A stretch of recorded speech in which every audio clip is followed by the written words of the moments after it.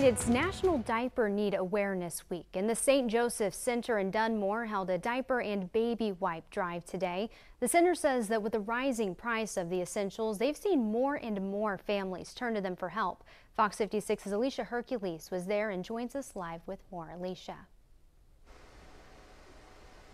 And during the drive today, the center says they collected over a thousand diapers, but with the growing need in the community, they expect those diapers to go fast one in two families is that um, have diaper poverty where they can't afford the diapers.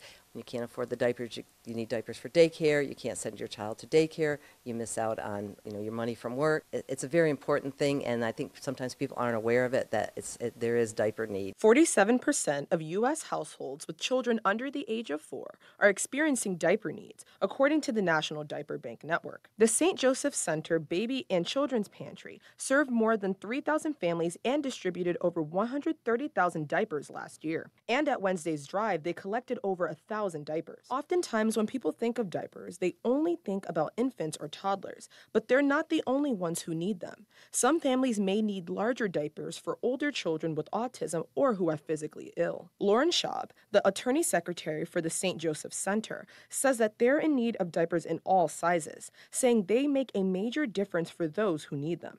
We have a lot of clients that come here and their response to us is that um, with us being able to help them with diapers, they're able to purchase other items that are so needed in the home. With getting the help of the diapers, if they have four children in diapers, then they're able to buy extra food. So it is a big impact in families.